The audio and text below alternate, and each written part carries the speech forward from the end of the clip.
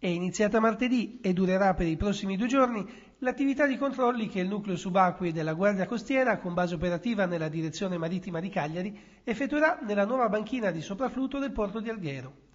Questa nuova azione è a margine delle operazioni effettuate in zona nei primi due mesi del 2009 da parte del motopontone Mario I,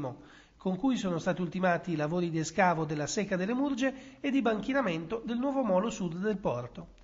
Le operazioni che comportano l'impiego di tutta una serie di apparecchiature sofisticate per il posizionamento e per le riprese subacquee di cui il nucleo è dotato sono primariamente tese alla verifica che lo stato dei fondali corrisponda a quanto previsto dal progetto dell'opera.